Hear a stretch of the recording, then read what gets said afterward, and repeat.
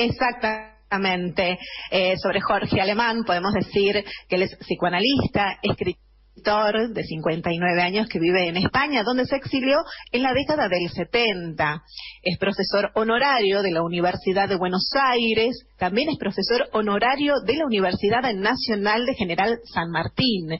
Es miembro de la Asociación Mundial de Psicoanálisis, AMP, analista miembro de la escuela AME, miembro fundador de la Asociación Cruce de Arte y Pensamiento de España. Algunas de sus obras son Invasiones y Leyenda, sobre hospicios y expertos navegantes, Iguanas, Patética, Arte, Ideología y Capitalismo de Sisek Alemán y Rendueles. Lacan en la razón posmoderna, el inconsciente, existencia y diferencia sexual, entre otros. Gracias, Elisabetta. Buenos días, eh, Jorge Alemán. ¿Cómo te va? Aquí estamos en el laberinto esperando tu entrada. Buenos días a todos. Yo también estoy en el laberinto. Ahora sí, estamos todos. Por suerte se escucha muy clarito. Te dejo ya en contacto para que te salude a don Alfredo Calcaño. Don Alfredo. Bueno, ante todo quiero expresar nuestra satisfacción por tenerlo a Jorge Alemán con nosotros. Es un honor este hecho y esperamos poder hacerle las preguntas que tenemos ganas. Comienzo en todo caso. El honor, es, sí, adelante. el honor es mío, don Alfredo. ¿Cómo? El honor es mío, don Alfredo, es un honor para mí. No, por favor. Bueno, la pregunta es esta. Que esta, la respuesta está en varios libros suyos y en su posición frente al problema. ¿Cree usted que después de la pandemia podrán surgir en varios países movimientos en favor de la igualdad, como surgieron formas de descolonización y estado de bienestar después de la Segunda Guerra Mundial?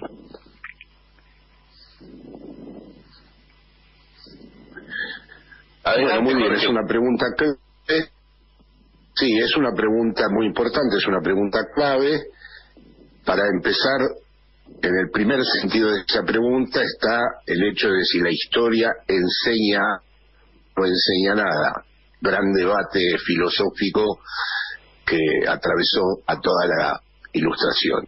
Sí, si la, si la historia verdaderamente de huellas y, y, sedimentos de una enseñanza o si tiende a una repetición fatal. Ese es un, un problema que me parece que no se puede soslayar.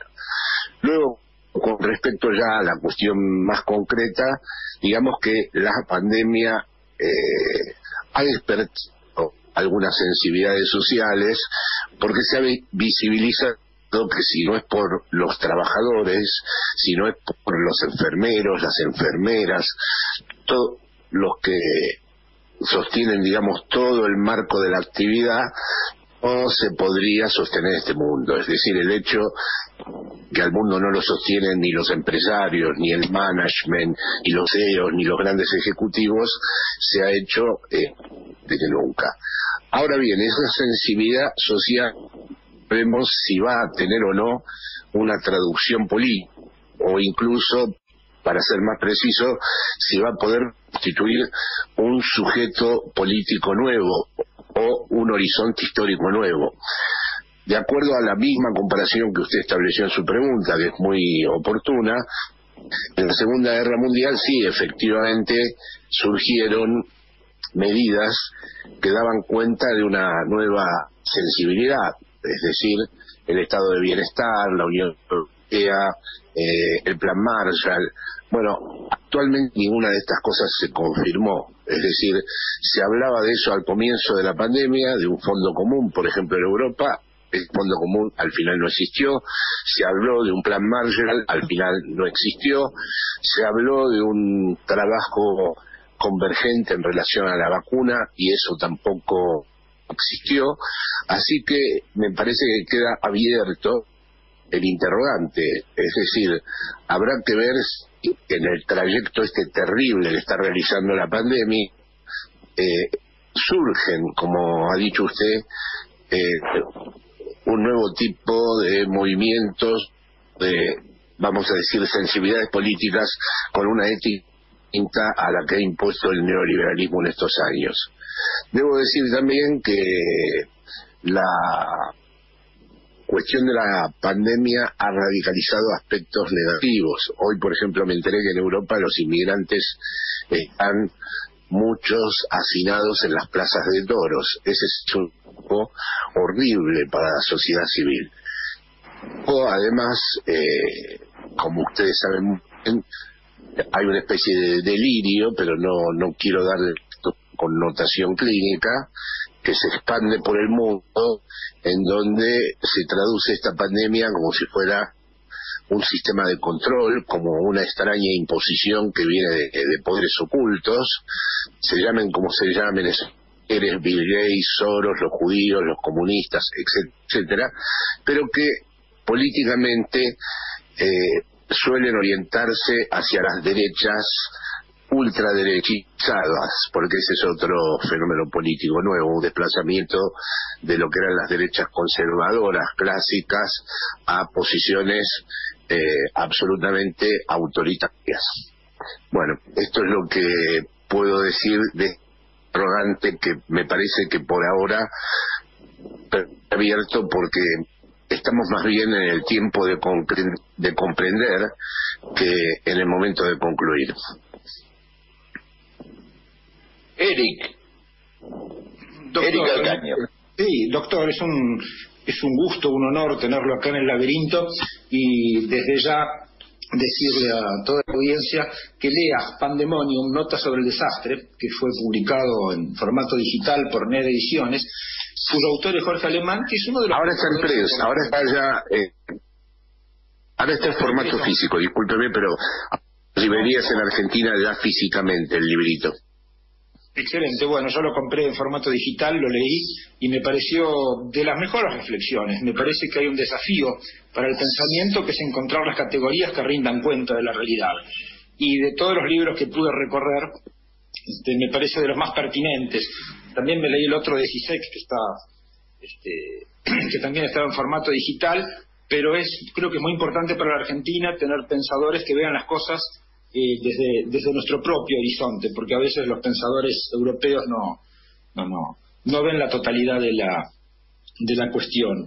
Eh, yo le quería hacer una pregunta sobre la inmortalidad. También estuve, porque estuve leyendo a un señor llamado Harari que habla de eh, la inmortalidad como horizonte, de nuevo, nuevo horizonte de la civilización humana. Y con esto de Elon Musk, que hizo, está creando una máquina para ponernos un chip en la cabeza y, y de ese modo descargar recuerdos, eh, ¿cómo es esa cuestión de la inmortalidad de, planteada por el, por el pensamiento dominante?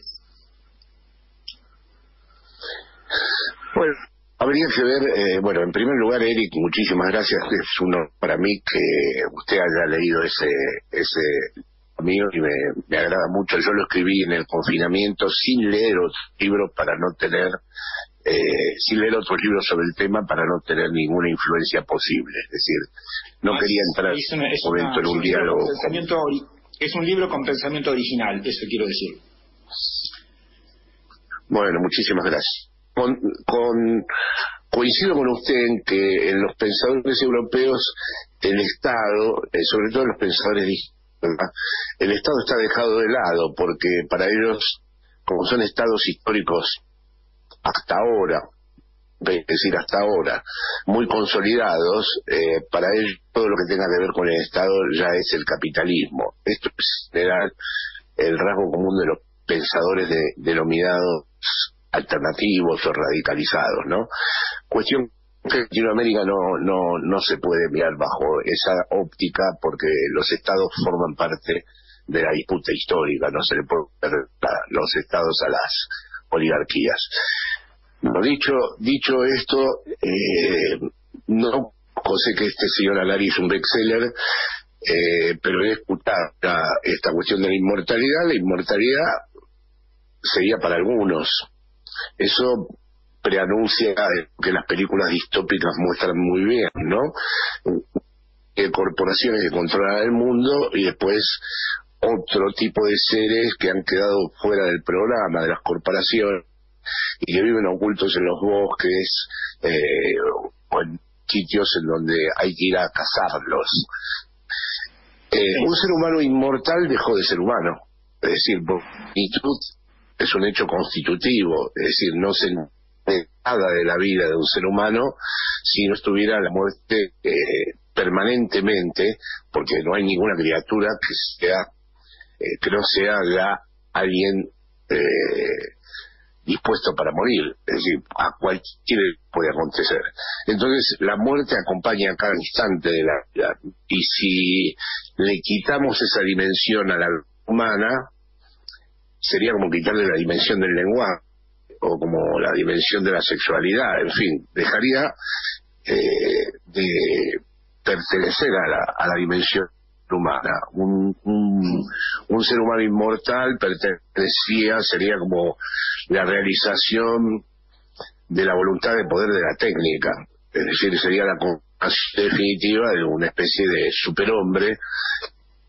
Eh, ya si no está afectado por la muerte, cuál es la decisión que debe tomar, si cada una de las decisiones que tomamos en nuestra vida finalmente tienen como horizonte último finitos sería un ser humano sin decisiones, sería un ser humano eh, abocado a un programa.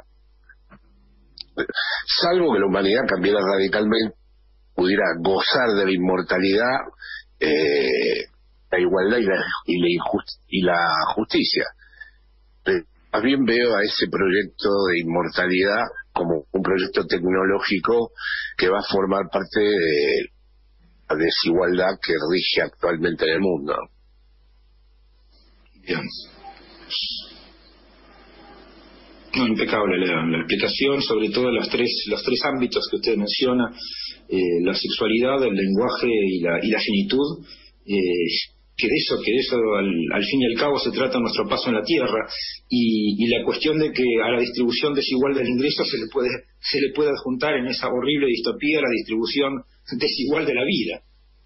Pero bueno, Néstor, este, creo que le toca. Sí, de hecho, perdón que lo, de hecho, perdón que lo interrumpa. Sí, sí, los escucho. Jorge, adelante. No, vi una película de ciencia ficción bastante mala, pero el argumento era interesante. Los seres humanos vendían tiempo. Es decir, eh, los pobres vendían horas, días o meses o años de su vida según lo que tuvieran que obtener es decir, que era el tiempo eh, introducido en la lógica del intercambio de las mercancías. Sería el valor tiempo. era una película... Sí, exactamente, exactamente, eso es, el tiempo constituido como valor. Bueno, claro, eso podría ser un proyecto de inmortalidad. Si los seres humanos tienen una, eh, un instrumento tecnológico que permita vender el tiempo, eh, podría suceder que haya seres humanos que queden inmunizados, digamos, al, paso del tiempo. Si eso es algo bueno, ya es discutible al propio Borges, para citar un escritor nuevo, le horrorizaba la inmortalidad, le, le horrorizaba permanecer siendo Borges en la eternidad. Pero, en fin, esto es discutible. El, como estamos siempre marcados originariamente por la desigualdad, como la igualdad ha sido el verdadero tema toda la historia del pensamiento, lo más difícil de pensar, eh, ese proyecto de, de inmortalidad, me acuerdo ahora de la novela de Simón de Beauvoir, eh, que se llamaba Todos somos mortales, donde el protagonista era un inmortal, justamente. Sí, todos los hombres son mortales, es el libro. Exacto, el protagonista terminaba deseando la muerte, porque ya los acontecimientos perdían su sentido. Es que ese sería el otro tema, los acontecimientos eh, dejarían de tener significación, se volverían, como pasa con las mercancías, todos entes. Sí, Jorge Néstor Picone. Eh, tomamos a Elon Musk como referencia, porque es uno de los que encabeza esta no solo lo, lo hace técnicamente y lo resuelve técnicamente con estos chips, según lo que él dice, sino que también, bueno, es uno de los teóricos del transhumanismo, pero lo que yo quería apuntar y llevarte un poco más al plano de, de lo político y el Estado. Eh, el otro día nosotros celebrábamos en la Argentina eh, el SAOCOM 1B, el satélite eh, que pusimos. sí, el satélite. Que tiene que ver con... Sí, sí, el satélite. Bueno, lo que quería decir es que hace unos años atrás, un proyecto de esos, que en la Argentina es hermosísimo y hay que disfrutarlo, hay que difundirlo, a veces queda tapado por un montón de cosas, que está hecho por científicos, el otro día hablaba con gente del INVAP, en esa elaboración, que lleva muchos años, porque son cinco años de elaboración hasta que se construye, cinco años hasta que se pone al aire, bueno, son como 15 años el proyecto, o sea que tiene una historia, este, estaban involucrados científicos de todas las provincias, me decía la gente del INVAP, de todas las provincias argentinas y que se combinó la CONAE, la, Universidad de La Plata, el INVAD de Río Negro, bueno, cosas hermosas. Ahora, hace unos años eso, cuando se ponía, eh, en, se, sacaba el satélite hacia la estratosfera, eh, se utilizaba un, una plataforma estatal. Hoy, quien puso ese satélite en órbita fue Elon Musk con X-Space. Y Elon Musk también es el que dijo no hace mucho tiempo que él, si tenía que derrocarlo Evo Morales, lo iba a derrocar como se hizo, porque necesitaban utilización del litio. Digo, hasta ese punto, por eso para mí es importante eh, combatir ideológicamente la ideología de Elon Musk, porque está metido en muchas de las cuestiones que nosotros vivimos y que eh, no son tenidas en cuenta, no son analizadas ni por los medios y a veces la política tampoco profundiza en esta concentración de poder económico y de poder técnico también, tecnológico.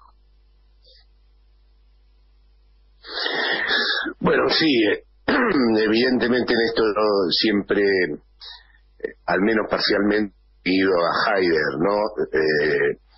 cuando él habla de la serenidad. Por un lado, la técnica nos vuelve disponible, es decir, a través de la técnica no queda emplazado a estar a disposición de la técnica.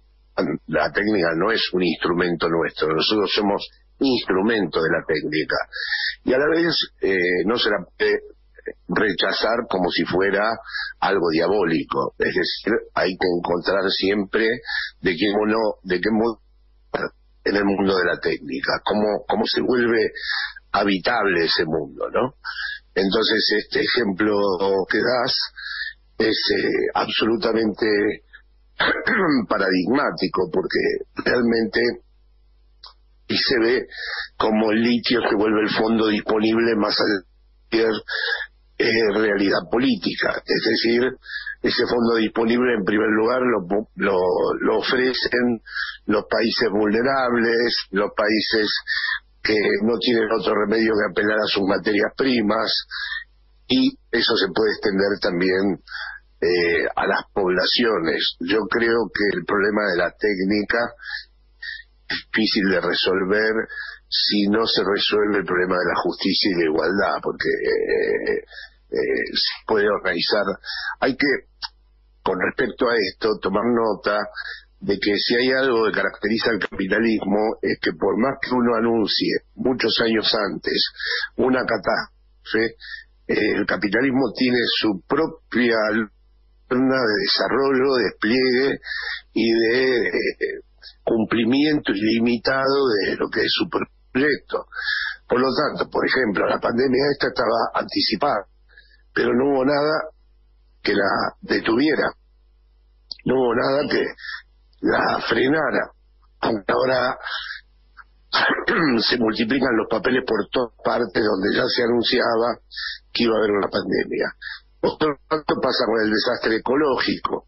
Es decir, hace tanto que se habla del mismo, pero todos sabemos que las medidas que habría que tomar para que ese desastre no se cumplimentara, eh, bueno, no se realizan no se realizan a media o se realizan de una manera eh, encubierta. Es una característica del capitalismo que ninguna advertencia funciona, que, que nada que, que hable del peligro en el que este mundo ya se empieza a mostrar, eh, detenga las Es la pregunta que ustedes hicieron al principio. Es decir, ahora señales suficientes de que la civilización realmente está atravesando un momento más que dramático. Estamos casi inmersos en un derrumbe civilizatorio. Y sin embargo, no sabemos muy bien si esas señales van a ser operativas y realmente consecuencias o no van a tener consecuencia alguna, ¿no? Esto, esto me parece que es el, elemento clave y yo he tenido discusiones con la corriente aceleracionista inglesa precisamente porque hay sectores de la izquierda que verán esta aceleración, digamos, que puede provocar ciencia y que puede producir este nuevo surgimiento de algo transhumano, ¿no? Pero es transhumanidad, eh, evidentemente, si no está articulada a una dimensión ética, si no está, vamos a decir, como, como vengo insistiendo en la conversación, a un proyecto igualitario, eh, se, se transforma muy fácilmente en una jerarquía siniestra.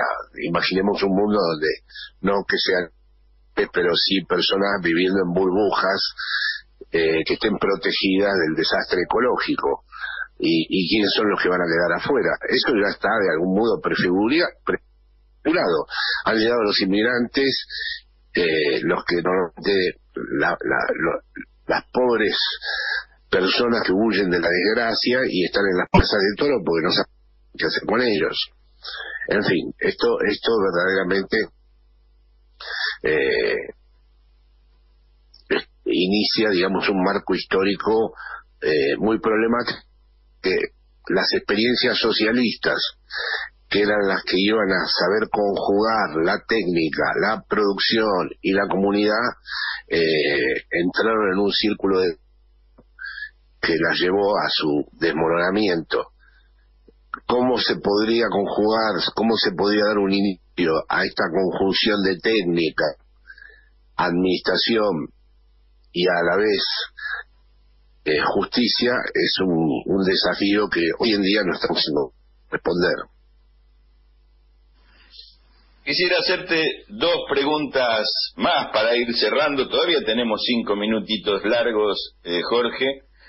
Eh, una tiene que ver, y ayer charlábamos con Eric, eh, vos sos un buen polemista, has polemizado con varios periodistas y, y, algunos compañeros como González, Horacio González. nosotros no, no queremos llevarte a ese terreno, pero sí, ¿cómo ves vos eh, obviamente el ostensible apoyo que haces y que nosotros también hacemos al frente de todos, ¿cómo se pueden subsumir las contradicciones que tiene ese frente de todos en este enfrentamiento con la pandemia, con el Fondo Monetario Internacional, con los acreedores, bueno, con todo eso, con un Estado que desde los 90 para acá se ha ido debilitando porque se quedó sin empresas estatales donde poder competir hasta económicamente con las grandes multinacionales. Y lo último, eh, ¿por qué tu ingreso y tu participación en la internacional progresista? ¿Qué estás viendo que se puede empujar desde ahí? No, bueno, me encantó el momento tuyo de, de negación. No te queremos llevar a este problema me has llevado directamente al problema. Bueno, en primer lugar, bueno, yo quiero mucho. Yo quiero mucho. muy sutilmente, te lo agradezco. Yo quiero mucho a la Argentina y eh, la imposibilidad de poder volver y viajar me ha hecho mucho daño. O sea que hay un pista del asunto que es que yo necesito que la Argentina no se derrumbe ni se desmorone.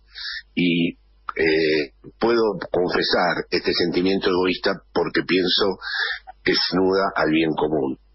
En segundo lugar, yo pienso que la obligación de un intelectual crítico como eh, se suele llamar en el campo progresista esto, es primero examinar atentamente cómo es la lógica interna de los poderes que están en juego y luego juzgar al gobierno. Porque criticar a un gobierno en un mundo en donde las estructuras ya tienen tal nivel de autonomía, tal capacidad de destrucción y tal capacidad de imposición, a mí me parece un poco ingenuo. Me parece un poco naif. Criticar un gobierno es muy fácil, sobre todo si uno está afuera no. Eh, pero eh, hay, en primer lugar, me parece que es una obligación incluso de un marxista o de un materialista o de alguien de izquierda. Primero hay que jugar a ese gobierno en el territorio, en la escena en que ese gobierno se desenvuelve y con qué poderes, digamos, debe eh, confrontar y con qué fuerza, con qué recursos cuenta para confrontar. Porque si no, la crítica a ese gobierno se vuelve, como podríamos decir, algo en donde uno se siente muy a gusto, se siente muy satisfecho de ser crítico, eh, se queda, eh, como dicen aquí en España, muy contento de haberse conocido, eh, y luego la misma, la misma crítica no tiene consecuencia. Las, las críticas a esta altura del siglo I y dado cómo se viene desarrollando el mundo y dado lo que se avicina en el mundo, porque se están gestando, no digo que realicen, pero se están gestando cosas muy inquietantes, muy peligrosas en todas partes del mundo. La crítica se debe evaluar no por las convicciones que la crítica tiene, las consecuencias de la crítica. Eh, si uno, eh, el infierno está hecho de las consecuencias de nuestros actos. Si uno no, no examina las consecuencias, la verdad es que las críticas eh, pueden dar una buena imagen de que uno es un, crítico y eh, ejerce la crítica, pero no. Yo, por ejemplo, eh, no soy bien visto, me parece, en mi impresión por la Internacional Progresista, de la que, sin embargo, soy miembro, porque hay veces que me parece que se le hacen al gobierno no tienen demasiado en cuenta las estructuras que determinan a este gobierno. Porque finalmente hay dos clases de gobierno, para decirlo de un modo muy genérico. Los gobiernos que directamente marchan a la par de las corporaciones neoliberales, y eh, el macrismo sería un ejemplo consumado de esto, también el Partido Popular en España, aunque el tejido institucional en España siempre hace más de colchón, y los gobiernos que intentan algo, un poco, un poco, que están en el, neoliberalismo, que no pueden realizar ninguna ruptura, eh, por lo menos intentan proteger, eh, poner, como diría Benjamin, un, un freno de mano, eh, tratar de establecer una suerte de, defensa, si es posible, con respecto a esa marca del neoliberalismo, sin poder nunca leer de los recursos para producir efectivamente una ruptura. Es decir, una ruptura tendría que ser un fenómeno prácticamente mundial y casi equivalente al nacimiento de una religión laica. Yo desde luego lo apoyaría, pero eh, no le puedo no le puedo pedir a un gobierno de la noche a la mañana eh, produzca semejante acto. Dicho esto, por supuesto que el gobierno, en el caso del Frente de Todos, un montón de limitaciones, un montón de errores, un montón de aspectos eh, contradictorios. Pero no se puede, me parece a mí, analizar esto si no se tiene en cuenta el contexto en el que ese gobierno se y luego lo que puede eh, venir después, porque claro, hay un poco una idea ilustrada, entre comillas, en la izquierda, de la crítica eh, va a orientar mejor a las acciones del gobierno y lo va a fortalecer. Eso es discutible.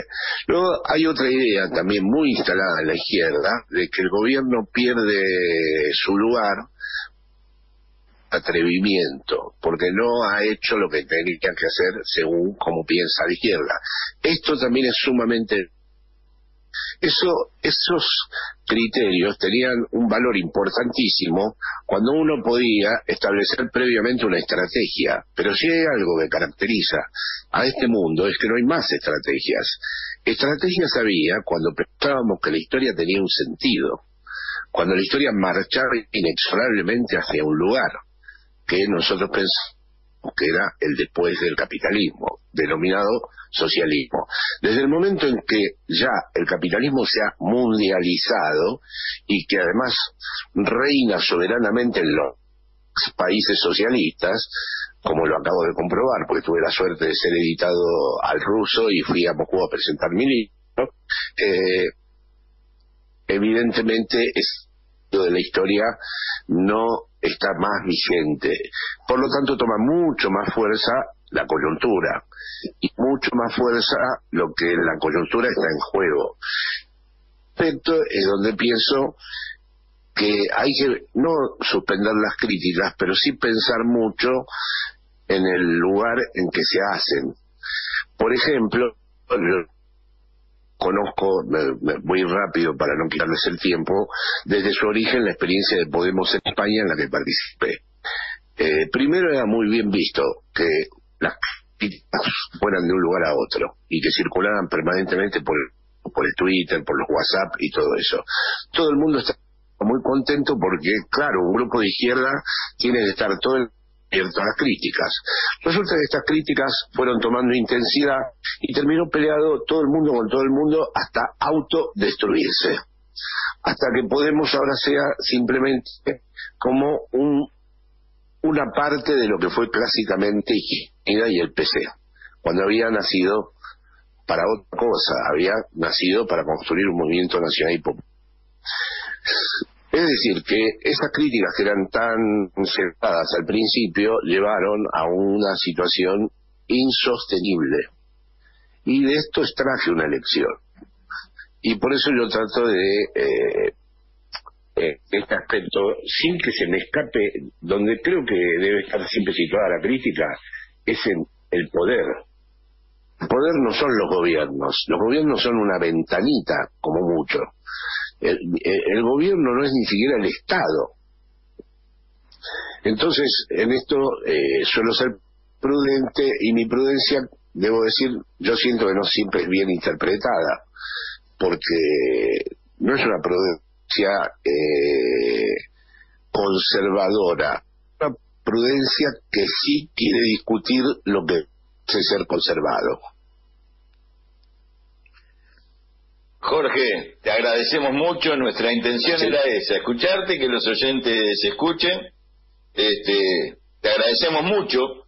Eh, don Alfredo, puede saludarlo a Alemán, nos queda un alemán, nos queda un minutito. Eh, es fundamental para nosotros oír estas conclusiones y planteos que son fundamentales dentro del desastre en el cual estamos a escala internacional. De modo que le agradecemos mucho y espero que sigamos en comunicación.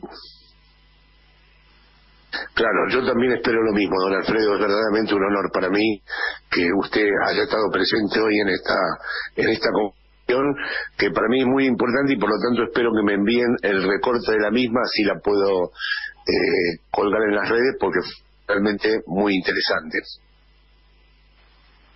Seguro que así será. Eric, tu saludo.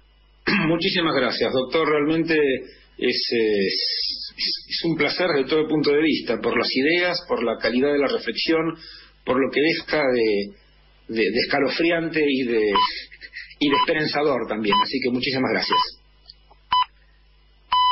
Gracias, Nos vamos, Jorge, con el te saludamos. Tuvimos, en una cierta oportunidad la, la posibilidad de encontrarnos. Muchas gracias, Jorge Alemán. Gracias, gracias, gracias al laberinto.